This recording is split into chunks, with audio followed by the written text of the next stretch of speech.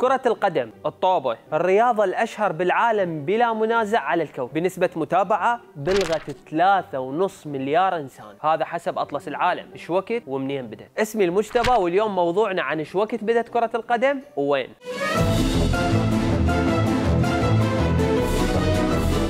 أكو سؤال هواية شائع عندنا بين محبي كرة القدم الاعتياديين. حول مصدر بداية كرة القدم. البعض يعتقد خطأ أنه هاي الرياضة بدت بشواطئ البرازيل، وهذا بسبب شعبية البرازيل بهاي الرياضة، بعد نيلها خمس كؤوس عالم. وهذا الاعتقاد طبعا ابدا مو صحيح، أما البعض يقول أنه كرة القدم اخترعوها الإنجليز لأن هم اللي نظموا لها قوانين، وبأرضهم انلعب أول دوري. بس السؤال اللي نريد نجاوبه بهذه الحلقة هو وين وشوقت انلعبت كرة القدم للمرة الأولى؟ وشنو أهم مراحل تطورها ووصولها لهذا الشكل الحالي خلينا اليوم نبدي ندور على أصل هاي اللعبة رجوعا للماضي step by step وقبل ما نبدي خلينا نتفق على نقطة واحدة أنه كرة القدم الحالية بشكلها الحالي الدين بالتأكيد لبريطانيا بأغلب عناصرها أما البرازيل فهي دولة استوردت هاي اللعبة في وقت متأخر. بأمارة أنه أول كرة قدم انلعبت خارج حدود بريطانيا. بأمريكا الجنوبية كانت بمدينة بوينس آيرس الأرجنتينية وليس البرازيل. وهذا كان بتاريخ 20 6 عام 1867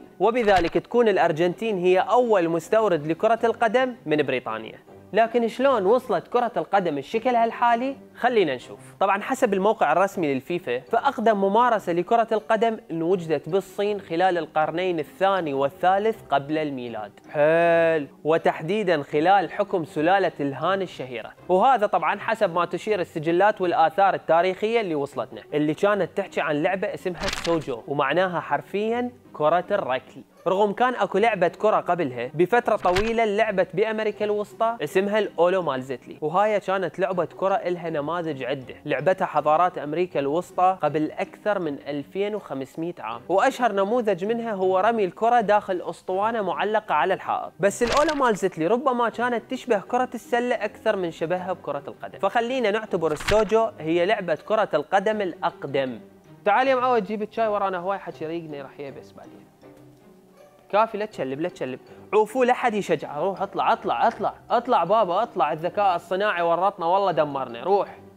روح روح ورايا حكي. روح. الكرة اللي كانت تلعب بيها هاي اللعبة كانت تنصنع من قطعتين جلد يتم حشوهن بالريش ويتخيطن حتى يصيرن طوبة ولعبة السوجو تغيرت وتطورت هواية عبر الزمن. وكانت لعبة شديدة التعقيد بحيث كانت ممكن تلعب بطريقة تعاونية أو تنافسية. وتلعب جماعيا أو فرديا. وغالبا ما كان يلعبوها لغايات جمالية بحتة. جمالية بحتة يعني للكشخة. بينما كانت النسخة غير التنافسية من اللعبة اسمها بايدا. وكانت تتلخص بأن يطبق اللاعب مجموعة من المهارات الفردية للسيطرة على الكرة. وهاي المهارات كان اسمها زيتشو. يعني جنابك إذا تعرف التكتك بالطوبة معناها أنت تمتلك مهارات الزيتشو. الجماعة بالك نينجا مو لواعي الطوبه أما النسخة التنافسية فكانت تلعب بين فريقين ينافس بعضهم البعض حتى واحد منهم يفوز. وأكو قصيدة لشاعر صيني اسمه ليو يوصف بيها هاي اللعبة اللي كانت تلعب تنافسيا. ويقول الشاعر أنه كان عند كل فريق نص درزن مرامي. طبعا مرامي جمع مرمى والمرمى كان شكله يشبه البدر.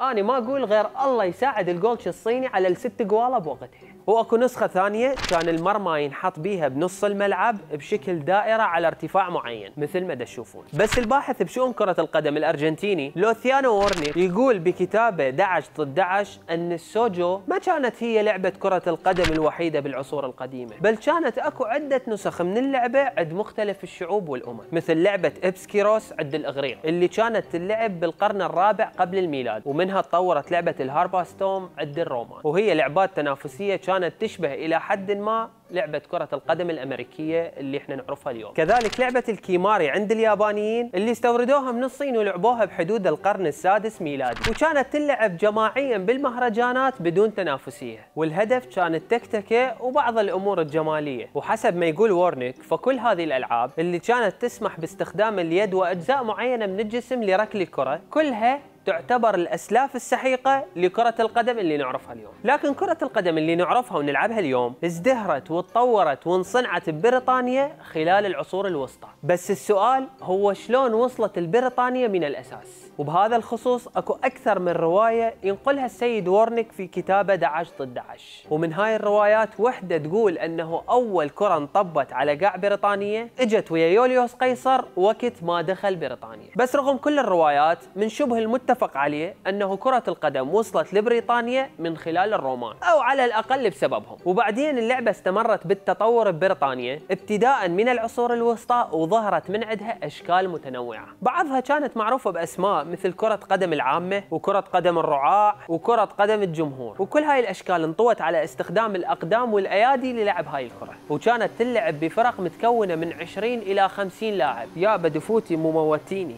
واحيانا كان يوصل عدد الفريقين اللي يلعبون إلى مئات اللاعبين. ويلعبون بكل قاع توقع عليها أيديهم. وواحده من أشكال المباريات اللي كانت شائعة هو لعب فريق من المتزوجين أمام فريق من العزاب. أعتقد العزاب أكيد راح يفوزون بهالحالة. وبصورة عامة ما كانت أكو قوائم أو عوارض تحدد المرمى. لكن الهدف وقتها كان الوصول بالكرة إلى شجرة مثلا أو جرف جدول أو حتى مركز قرية معينة لازم تنحط به الكره وعلى هذا المنوال أخذت كرة القدم تتطور ببريطانيا وهذا كان نتيجة حيازتها على مكانة خاصة ومرموقة. عند عامة السكان. وما نالت اعتراف السلطات الرسمية بها وقبولها إلا بمنتصف القرن التاسع عشر. أما قبل القرن التاسع عشر فكانت السلطات السلطات الرسمية والأعراف الملكية تعتبر اللعبة شكل من أشكال القبح والتفاهة بحيث القرن الرابع عشر شهد إصدار 30 قانون محلي وملكي يحظر أو يجرم ممارسة كرة القدم بمختلف المدن البريطانية. إلى أن إجا الملك إدوارد السادس عشر وأصدر مرسوم ملكي بحظر اللعبة حظر تام بعد ما سببت وحدة من مباريات كرة القدم بنشوب معركة حامية الوطيس بين بلدتين محليتين بسنة 1548 وبمرور الوقت المدارس والجامعات البريطانية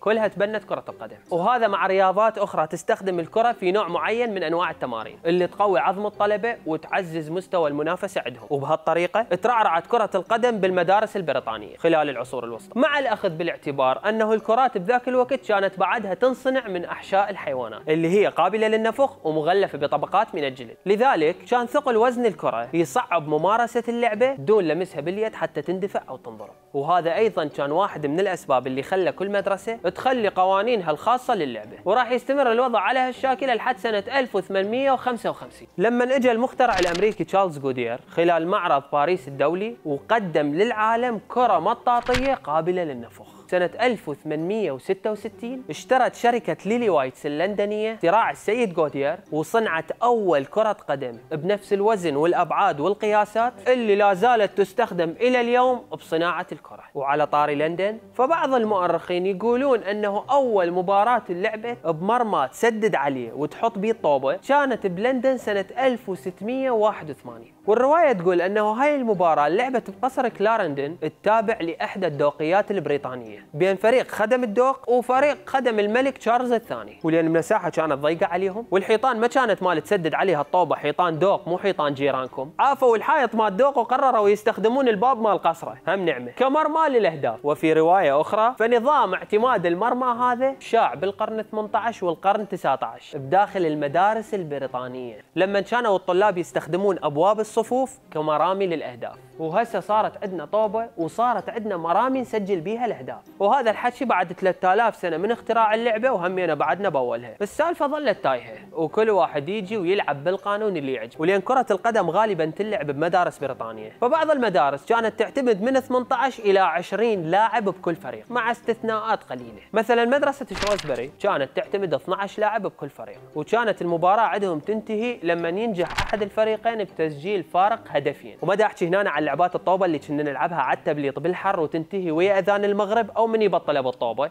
فكانت تتمثل بثلاث مدارس. يعتقد بعض المؤرخين أنها الإجابة الشافية لسؤال ليش كرة القدم تلعب 11 ضد 11 مو 20 ضد 20 أو 12 ضد 12 مدرسة تشارتر هاوس ومدرسة هارو ومعهد إيتون ثلاثتهم يعتبرون من المدارس المرموقة والعريقة اللي تأسست خارج لندن. وبهاي المدارس كانت كرة القدم تلعب بين فريقين كل واحد من هاي الفريقين يتكون من 11 لاعب. وهذا الرقم ما اجى من صدفه. لأن غرف الأقسام الداخلية بهاي المدارس كانت تحتوي على 11 طالب بكل غرفة. وموضوع الرهانات والتحديات كان فد شي كلش شائع بين طلاب الأقسام الداخلية بحيث كانوا يلعبون غرفة ضد غرفة. يعني بمعنى 11 ضد 11 سنة 1840 شهدت كتابة أول لائحة قوانين كرة قدم بالشكل الحالي على يد طلاب من جامعة كامبريدج لتعريف قواعد بطولات كرة القدم بين المدارس والمعاهد والكليات. وعلى الرغم من أنه لائحة القوانين هاي. كانت فقيرة وما تتناول غير قواعد لمس الكرة باليد وما اجى أي طاري بيها لمدة كل مباراة ولا حتى عدد لاعبي أي فريق ولا قضية الحكام ولا قضية حراس المرمى. بس كانت هي الحجر الأساس اللي تطور لاحقا وانضافت له قوانين وقوانين. إلى أن وصلنا الشكل القوانين الحالي أما بسنة 1860 بتاريخ 26 12 لعبت أول مباراة رسمية. يخوضوها فريقين اثنينهم يحملون اسم نادي.